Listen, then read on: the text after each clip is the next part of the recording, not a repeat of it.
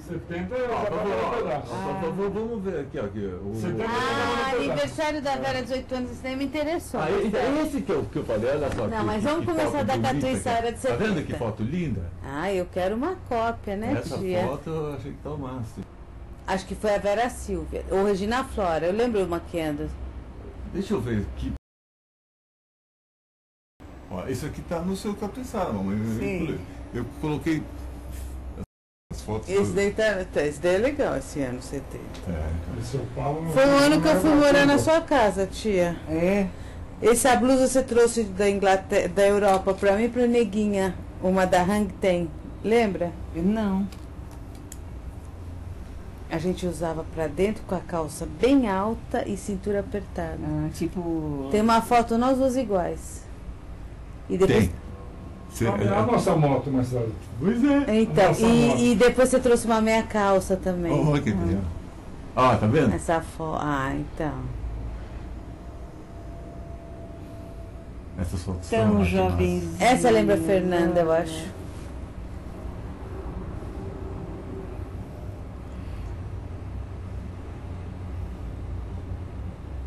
Então essa depois eu tava querendo fazer, que nem eu fiz com aquela do. do. Christian, empinando, virando. Uma motinha pequenininha. Aí começou a minha tortura. Olha o óculos. Eu adorava a neguinha com esse cabelo.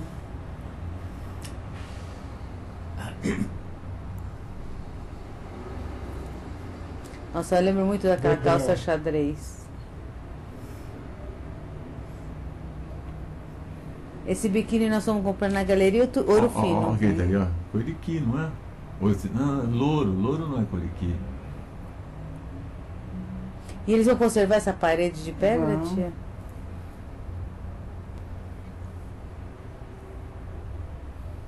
Olha a Vera. Silvia de cabelo vermelho. Essa é Regina Flora. Regina Flora, ela que tirou aquela foto. É.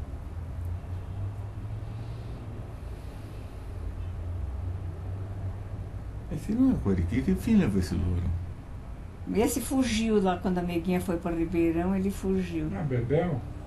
A Bebel é, mas era o louro. Essa é, a o- o Bebel. louro, é.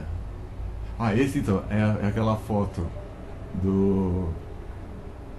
Que a Bebel. Olha, olhando pros peixes. E ninguém foi salvar eles. Mas era tradição essa cozinha amarela. Hã? Era tradição a cozinha É. amarela. Ele trocou então também? Vai trocar? Pois Esse branca. gato eu Tudo, nem né? lembro. Esse, é- essa é uma das perguntas: que gato que é esse? Não sei. Olha. Olha, É. que jovenzinho. Nossa, olha o Bira. Ai, o Bira tem uma que ele está péssimo. Esse é o Bira da primeira geração, não é? Acho que é. Já o aquela almofada, olha aqui. vermelho do seu pai. Porque. Não é. Esse aí que. Não, isso aí tá fora de área. Esse é só os pés. Ela tem a, a que é a, a pesqueira. Vamos. vamos, Muda. Põe o do É, aniversário Esse é um dos que eu tenho que fazer na razão que ninguém conhece, só eu que é pro pesqueiro. E você sabe? Ah, Você vai inventar um pouco. Não, o pesqueiro a gente ficava lá, a pessoa bebia e ficava o Zé, o João. Contando só piadinha. contando Mário. Mário. É, é quase um repeteco do que depois foi lá na, na praia. Posso pegar as piadas da praia e colocar, mas. Então vamos voltar aqui e ver. Esse é um filminho, você vê, mas outros não eram filme, eram fotos. É, essa narração do pesqueiro ficou por minha conta porque nenhum dos outros meus sócios na narração teve oportunidade de ir lá. Então eu vou tentar contar usando as minhas recordações que foram muito boas. Esse pesqueiro era especial por várias razões.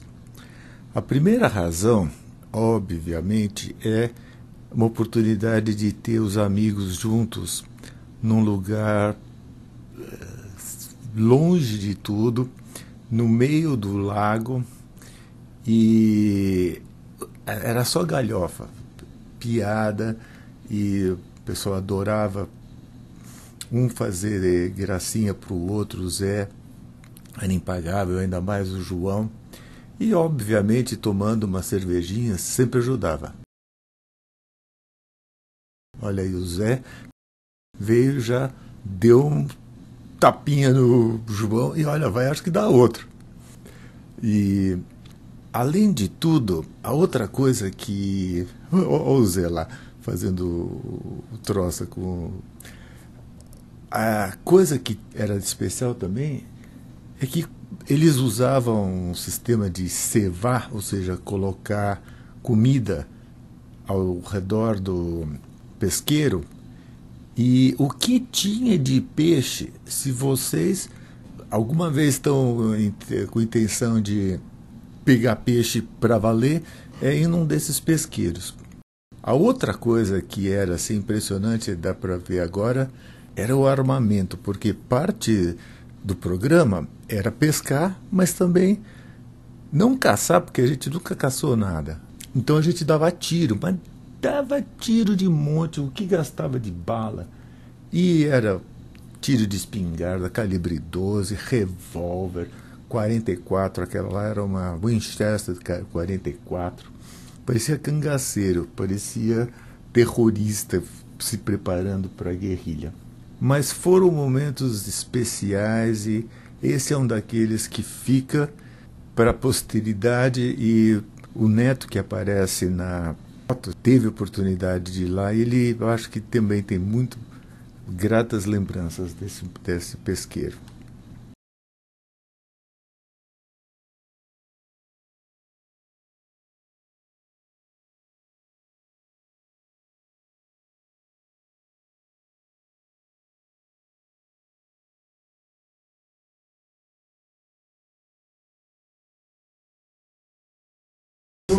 Rua Tatuiçara 72. É, 72. Pulamos dois anos agora. 72. O que estava acontecendo em 72? Era o seu quarto aquele. Esse é o quarto do fundo, Era né? o quarto do fundo. O que, que eles vão fazer lá? O Serginho. Hum, Serginho. então isso que eu falei. É, é, é. É, suspeito. Essa é Lolita, lembra aquela costureira? Nossa, olha o Zé. O que, que Lolita estava fazendo em casa, eu não tenho ideia. Mário. Mário, ela foi com o Mário lá. Ah, isso que eu falei, fazer uma série de botelho. Tudo assim, mamãe. Tá vendo? Sempre com essa é. cara? Todas com essa cara De má vontade? de botelho. Essas coisas depois Botelhosa. É, mas é incrível como o pessoal tá. O Zé tá sempre fazendo deboche, tá vendo? Olha que fotografia da época. As calças do Zequita. Olha. Ah, esse cara aqui, como é o nome Jorge. dele? Jorge, Jorge. Deixa eu ver a cara do Jorge. Ele Olha eu lá. Tem mais, tem mais. É. Meu cabelo. Olha você aí. Ó, né? ó, ó, os dois. né? Olha o Jorge aí, tira a Jorge. camisa verde. Esse é o Alberto. Vovó. Magro. Sei mal, uma cervejinha. Tá vendo? Ô, João. A trinca. Ah, esse tá, tá boa essa, essa foto também, ó. Ah, isso que eu falei? Ninguém é 17 anos, uma lata de cerveja na mão, você acha? Isso. A Lavera também. Eu que fiz aquele vestido. Serginho. Olha eu do lado ali. Eita turma. A Nossa, Vera Vera. Silva. Esse era os fãs da Esse é o Ivan. Não, Rui. Renato. Renato. Esse era Renato. Não. Renato, Renato. Mas era. Aquele que. Aquele era o Rui que passou. Deixa eu ver. Rui. Eu nem lembro da cara do Rui. Senta- Olha que roupa ver. curta. Aí ela indo pro IAD. É. A Diana tá com essa cara, né? Você Não acha? Eu acho. É. Essa não é sua casa, é? Ah, Serginho e Totônio. É a casa do Zequita. Tia, essa casa não é sua. Não, não. Não, é da Conceição. É, tô vendo que não é sua. É onde Esperança? Olha o Serginho lá. Ah, essa época é. Ó, o Gui. direta. O Gui tem umas em Ubatuba que é. Eu sei, já lembro. Sim. Vocês têm uma memória? Olha o. Lá no- Olha o comprimento. devagar pra gente. Olha, esse, Esse é o Rui. Rui. A neguinha queria me empurrar. Aí ele tem confecção petit. Loja É, de. Esse cara chupava Arthur. chupeta. Arthur. Chupeta. Arthur. Eu até tirei a da chupeta, eu achei tão ridículo. Eu tirei a banqueta Ah, da deixar. chupeta. A aniversário de casamento. Tinha mais sua casa era uma comilança, uma bebelança, lembra? Olha Olha lá. O que a gente comia e bebia, eu lembro. Vamos sair, eu tentava, e chegava madrugada, continuava. E, aí- e aí o sol raiava. E a gente ela tá- ainda tá- lá, né? O neto era aquela fechada. Olha o neto aí. É. Os filhos da Conceição não iam muito, as meninas. Ah, Cristina. Não, foi só falar. Ah, olha as amiguinhas. Nós éramos íntimas nessa época, eu e a neguinha, Era. unha e cutícula. Olha que boa que tá. Tá mesmo.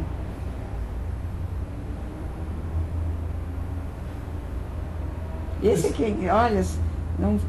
É, é- quem é esse? Esse é Paulo Fernando e irmão. É, o irmão da Regina Flora. Nossa. Olha a Benedita, meu Deus. eu Ela era engraçada, essa Benedita.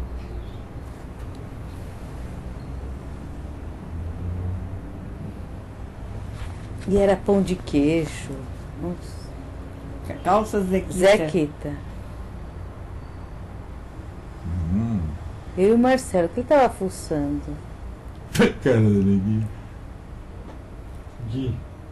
Neto. Esse é o neto. Olha que camisa bonita. Edson, lá no canto. Esse aqui quem é? É o Jorge. Renato. É o Jorge. Ah, Jorge. É o Jorge, ele é. tem um bug, né? Isso é na casa da Miriam. Olha que foto essa. Essa tá boa, bonitinha. Zé sempre debochado. O tio Paulinho. Dudu, a Gilda. Olha, Dudu. Paulinho. assim.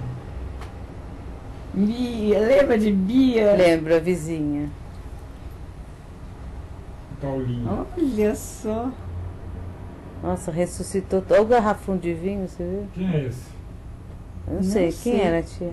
É, não, não me lembro. Olha só que duas indo pra festinha. Indo pra. Rui.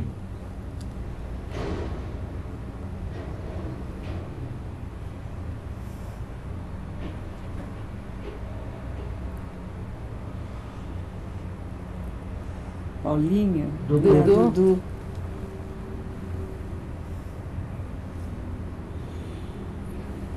Ele é o Flávio. É. Nossa, que tudo, achei que contar uma piada. Ah, isso aí tá engraçado também, quer ver? Umbatuba.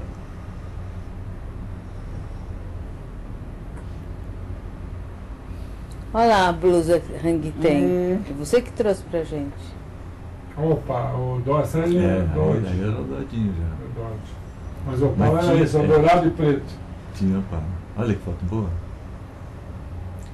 Tem as fotos. Tem uma foto que tá eu, você, o Serginho e o Totônio. Uma Esses foto. maiôs a gente tinha ido comprar na Galeria Urufino, É mesmo? lá na Augusta, me lembro. Fomos de ônibus, as duas. Olha que bela. Está com belo corpo. Esse negócio foi o, o, o, Serginho. o Sérgio que me deu aquele macacão? é. Era dele? Ele, ele me deu, eu achava interessante. Isso não eram os piqueniques que a gente fazia lá? Era. Acho que é. Fomos na Ilha Anchieta uma vez. Eu acho que esse é a minha lixeira, se não me engano, tá vendo? Mas era uma precariedade. Olha os barquinhos que a gente ia. Ninguém pensava no perigo. Olha aí, ó. Olha. Tá vendo? Olha.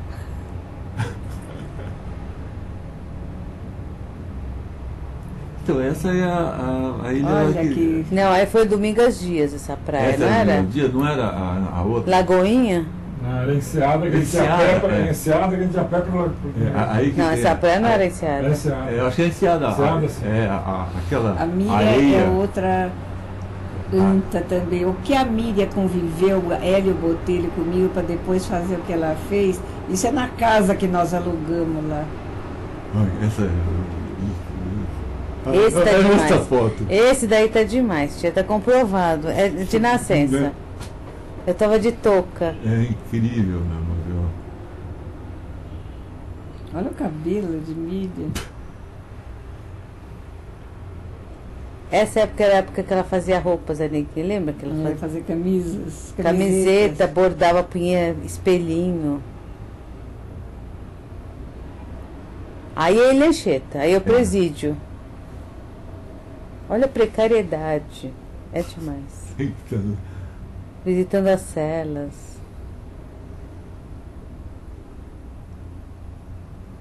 Sérgio, né? Ah, esse aí, olha que foto mais linda. Ai, obrigada, Marcelo. Meu fã número um. Não, mas eu achei que foi tirada essas Essa foto foi na casa da minha mãe, que o tio Carlos que tirou, e a minha mãe estava na Bahia.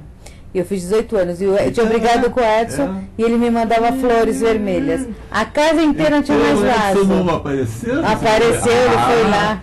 Ah, lá. Aí eu voltei com ele nesse A dia. Marília. Nossa, Marília então, Beto. É, o então esse especial. Olha só, o dia do retorno. Minha mãe não tava, eu ganhei esse relógio do meu avô. Paulo a Lucio. Lucio, Paulo. Nossa, eu me lembro como Passa você. muito depressa, a gente não pode curtir. A Cristina e a Regiane. Ah, sua amiga do. Vera Pauliello. É. A Elisa. Bridins. Seu- Aí já não é mais. O que bebíamos? Não, eu tô impressionada que a gente bebia desde menor de idade já estava com a cerveja. Você viu ela servindo vinho? Era uma coisa ininterrupta. Olha o cervejão lá. Quase fomos pro AA. Essa também eu não entendi. Eu bebeu o leite todo. É, não, não, é que não tinha quarto, tinha que estar na esteira, né, tia? É, acho que é, né? Isso eu também não sei onde é. Você sabe? Eu não. Não. Eu também não, fui. estou sabendo. Rui. Ah, foi um piquenique no Horto Florestal. Isso, lembro. Falou do Rio lembrando. eu fiquei- A, Neguinha foi com o Renato, agora foi com o Rui.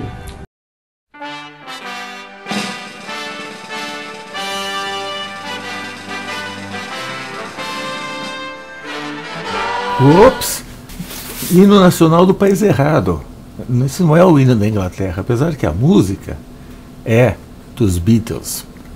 Mas aqui estamos na Inglaterra, em Cambridge, 1973. Eu vou tentar fazer uma combinação de narrativa do vídeo, que originalmente é mudo, com a historinha do que foi esse período que marcou profundamente a minha vida. Então, por exemplo, aí vocês já podem ver aonde eu morei. É o Alpha Road 30. Esse é o primeiro filme que eu fiz e é interessante que a introdução é muito parecida com a do meu pai fez, que ele disse que mas era a primeira vez que ele estava usando e o filme não ficou muito bom. Nesse ponto está idêntico, porque eu não estava vendo o que eu estava fazendo, então filme está corrido, mas o que vocês estão vendo aí é o caminho que eu fazia todo dia da casa que eu morava na Alpha Road 33 até a escola que eu estudava inglês. E eu passava em cima da ponte, via esses patinhos e tinha esses campos. E esse aí é o rio Ken, famoso, que é o rio que passa do lado dos colleges, que é lindo. Realmente é, é um lugar muito bonito.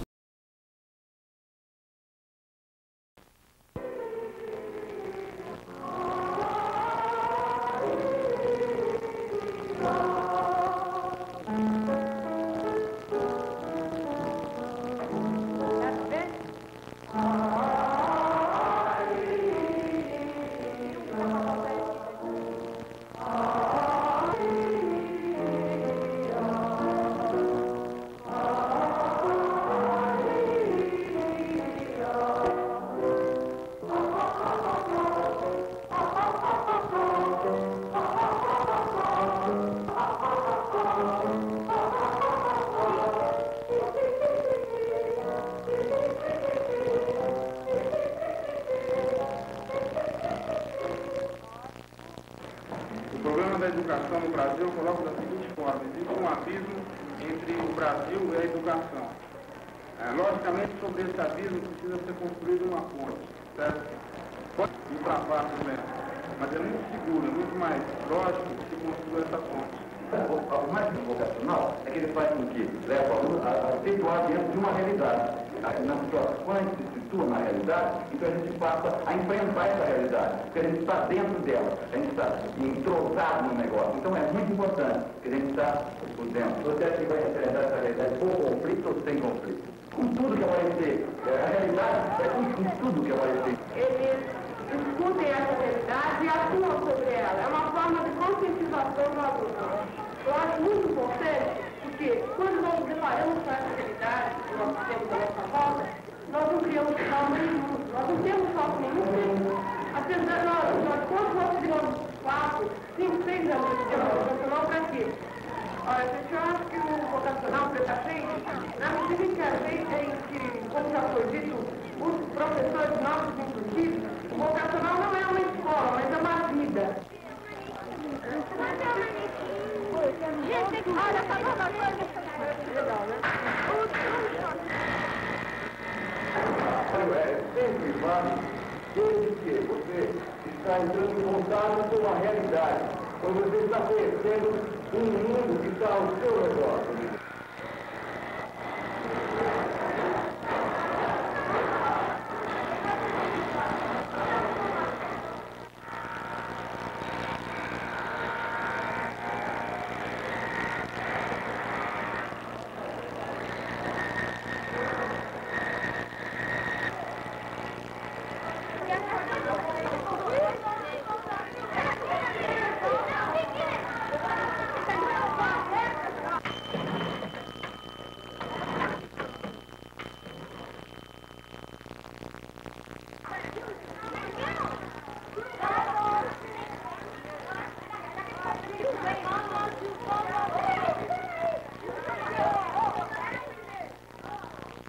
Nessas eh, três reuniões que realizamos, eh, nós levant- fizemos a avaliação da unidade pedagógica anterior, eh, decidimos realizar um estudo sobre o Brasil com abertura para a América Latina, estabelecemos os pontos fundamentais que devem ser abordados para o conhecimento dessa realidade e, finalmente, fizemos um levantamento dos objetivos gerais que devem nortear a nossa quarta unidade pedagógica.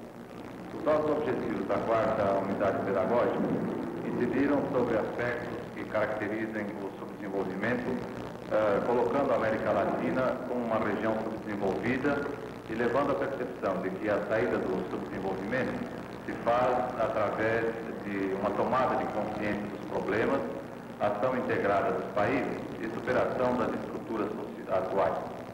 Esses objetivos visam ainda transferir esses conhecimentos para a vivência dos alunos, levando-os a uma tomada de consciência e realizando opções conscientes e desenvolvendo os treinos de coordenação. Quais as causas e fatores que determinaram o subdesenvolvimento do Brasil e na América Latina? Deficiência de assistência social e alto crescimento demográfico. Fome e dependência política estrangeira. Falta de aproveitamento dos recursos naturais e meios de comunicação. Desemprego como consequência da monocultura latifundiária e técnicas arcaicas. Alto índice de mortalidade infantil e falta de higiene. Áreas inaproveitadas pela erosão. 40% da população jovem produtiva e preconceito com o trabalho manual. Ensino médio atraso e falta de cursos técnicos. Desequilíbrio econômico entre indústria, agricultura, produção primária e más condições de trabalho. Do ponto de vista histórico, temos que considerar o fato do Brasil e da América Latina terem sido colônias até o século XX. A sua economia era de caráter exploratório, sendo que algumas estruturas montadas naquela época ainda permanecem, dificultando o atual desenvolvimento, como, por exemplo, a propriedade latifundiária, a, monopro- a monoprodução e o caráter patriarcalista da sociedade. E quantos problemas? Condições físicas também não propiciaram a ocupação e estabelecimento do homem. De eles podemos citar o relevo, como os Andes, e a Serra do Mar, como funcionaram como barragens para a penetração do homem. O clima tropical e orientação da rede de, drenagem. Isso tudo podemos notar por esse mapa aqui, que compara a distribuição da população com as regiões físicas. Um, dois. Lá, si, si, lá, lá, si, si, lá. Luiz. Vamos tentar tocar por partes, né? Todas das meninas.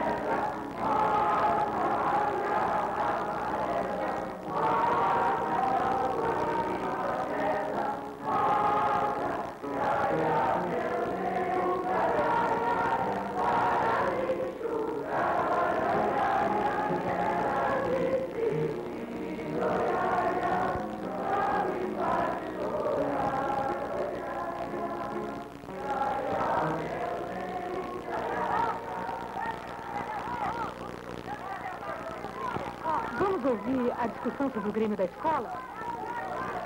Os alunos têm objetivos diferentes do, do povo em geral.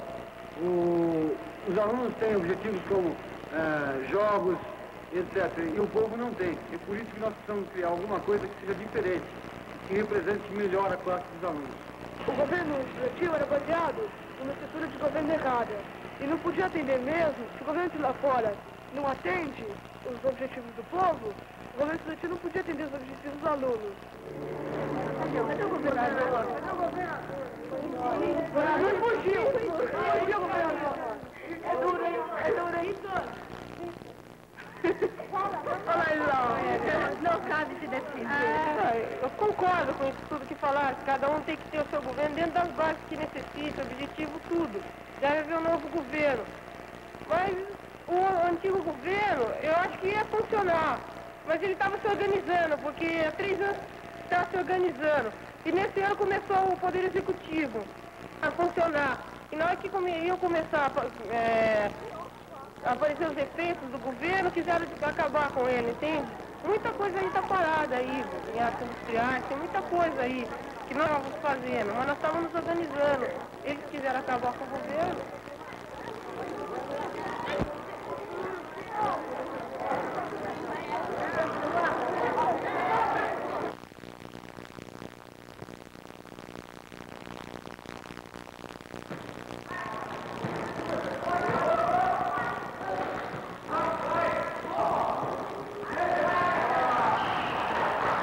Vocacional é uma experiência que se desenvolve no estado de São Paulo através de algumas escolas secundárias com o principal objetivo de levar o jovem à descoberta da sua personalidade, conhecendo seus interesses, as suas aptidões e percebendo o mundo e a si mesmo a fim de situar-se eh, na sociedade e a desempenhar o seu papel de homem transformador. O ensino vocacional desenvolve em jovens uma atitude crítica perante esta realidade e pretende, com esta experiência, afetar a renovação das demais escolas secundárias. O significado desta experiência educacional, a nosso ver, dentro de uma percepção de professores, de pais e de elementos interessados em educação, deverá marcar o momento da renovação da escola secundária brasileira.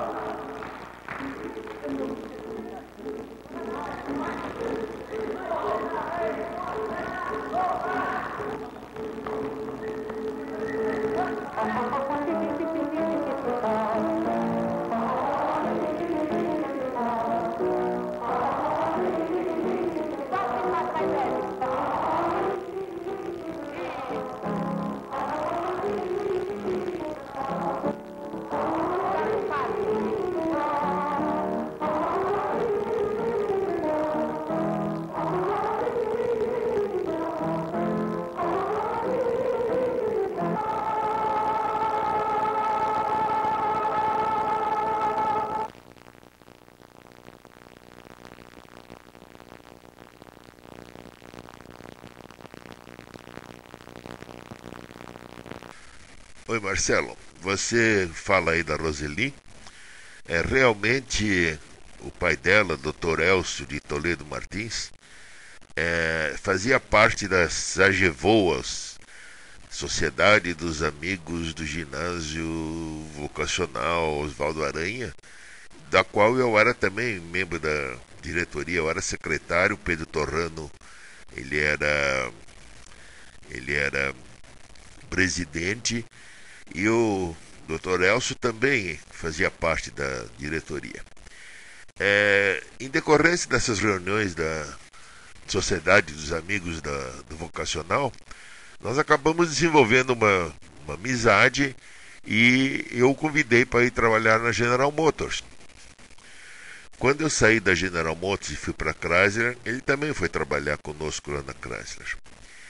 É, mas a, o que mais me lembra de boas recordações do Elcio foi que quando a sua avó estava doente, nos últimos meses de vida, o Elcio, com uma dedicação sacerdotal, todo dia, quando ele saía lá da fábrica, ele passava na, lá em casa e dava aí um dedo de prosa com a sua avó e animava, é, levantava o ânimo dela. Eu acho que ele foi assim excepcional na assistência psicológica para sua avó. Um abraço, papai. Saudações a todos. Meu nome é Marcelo Andrade e eu estou enviando essa mensagem primeiro para colocar uma voz e um, uma face atrás do nome. E segundo, como eu não vou poder estar presente no dia 6, eu estou mesmo daqui compartilhando com vocês a alegria de estar revivendo aquilo que para mim foram os melhores tempos. E até hoje eu me sinto privilegiado de poder ter estudado no vocacional. E agora com esse trabalho de restauração da memória do vocacional, eu acho que é uma forma de eu poder retribuir um pouco daquilo que eu tive. Então, mais uma vez, eu deixo aqui um alô para todo mundo e um tintim em comemoração. E para o Paulo Ricardo, veja só, é leite. Mas fica aqui minhas saudações. Tchauzão. Ginásio Vocacional Cândido Portinari, localizado em Batatais, que é próximo a Ribeirão Preto, próximo também a Brodowski, que foi onde Cândido Portinari nasceu, fica na parte norte do estado de São Paulo. E para mim foi um local muito marcante porque eu tive a oportunidade de, no segundo ano, fazer um estudo do meio naquela região. Eu entrei no Oswaldo Aranha em São Paulo em 1965 e já no segundo ano eu tive o privilégio de poder participar de um estudo meio em Batatais, o que me marcou de uma forma incrível Primeiro, por causa do cuidado e da preparação que os professores tinham em fazer com que a coisa fosse apresentada de uma forma bastante didática e integrada e não como turismo no interior de São Paulo. E realmente nós aprendemos desde, por exemplo, geografia, o que era terra roxa, e andando nas fazendas de café, entendendo por que, que o café se desenvolveu tão bem naquela região fértil. E também a questão social, política, histórica, com os barões de café visitando aquelas fazendas e as casas que geraram uma renda muito grande que eventualmente até permitiu o capitalismo industrial em São Paulo e o fluxo de imigração, principalmente da Europa, para suprir o trabalho na lavoura. Obviamente, a gente não pode deixar de esquecer a parte artística, visitando os afrescos de Portinari em Brodowski e todos os locais que ele deixou a marca dele naquela região. E ainda um outro aspecto que para mim foi fantástico o aspecto social que eu fiquei hospedado na casa de uma família, de um aluno de Batatais. E para mim, isso foi um, uma troca de experiência muito grande também, na medida que eu conheci o pessoal daquele local e vi que no fundo nós somos todos iguais. E eu acho que eu só tenho que aplaudir e ficar grato de eu poder ter eh, tido essa oportunidade de participar de um estudo do meio e estou documentando aqui como isso para mim foi importante.